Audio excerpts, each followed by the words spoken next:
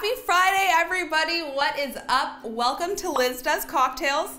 I'm Liz. Let's make some cocktails.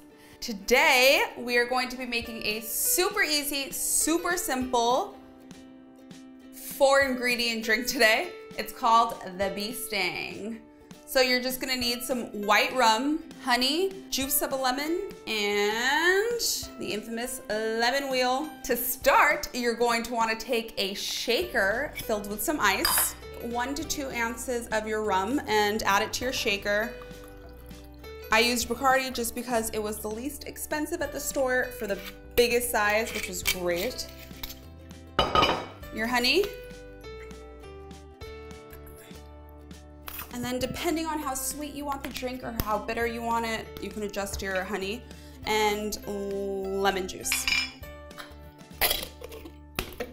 Seal up the shaker and totally make sure it's closed.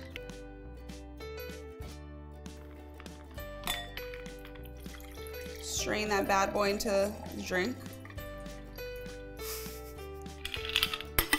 I have no idea why there's only this much drink in there. I think I put too much ice in my little shaker.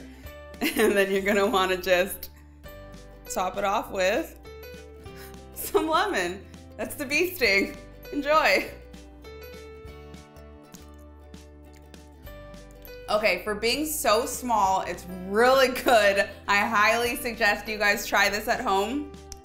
If you try it, let me know what you think send me a photo or something. Hopefully there's more juice in there than this. But let me know what you think, comment below.